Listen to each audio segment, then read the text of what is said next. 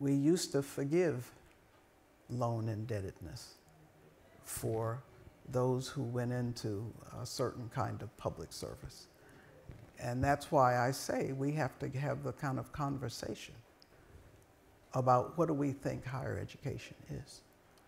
And, and many people look to the universities, and so I will say universities have to operate as efficiently as they can and have to drive as many costs as they can out. And we do a lot of that at our university with core infrastructure, shared infrastructure, partnerships, et cetera, because we don't have the world's biggest endowment.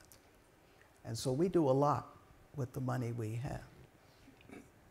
But in the end, we have to get back to what does higher education mean for us? And I don't think it's true of your daughter, but you know, many young graduates go out and they buy a car, although it's becoming less popular than it used to be. Uber now. Um, because they can Uber everywhere.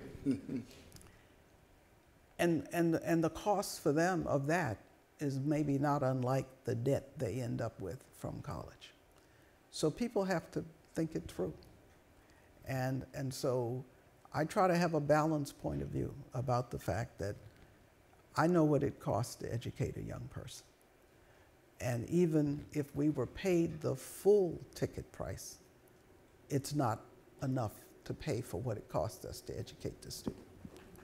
And so there always has to be an offset with philanthropy, with partnership, and, and with other things. And so we have to decide. Now, there are those who believe that maybe we need to strip down the model of higher education and do less. And that's a discussion, that's a conversation we can have. But there's no denying that the higher education system we have has led us to have the strongest economy on earth.